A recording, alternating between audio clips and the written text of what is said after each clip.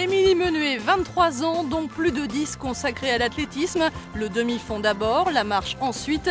Comme tout champion, Émilie a connu des hauts et des bas dans son parcours sportif. À force de travail avec l'entraîneur de la première heure, Marc Glaudel, elle a gravi les échelons jusqu'à cette Coupe d'Europe en Espagne et ce nouveau record sur 20 km.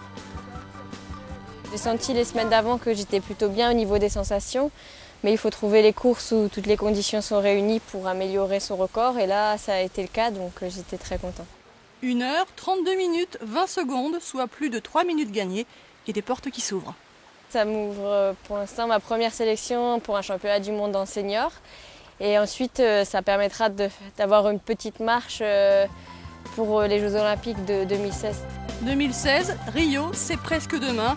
En attendant, place au championnat du monde, 12 ans que l'équipe de France n'avait pas aligné d'athlètes sur la marche féminine. L'épreuve se déroule à Pékin, tout près du stade olympique. Peut-être un signe du destin.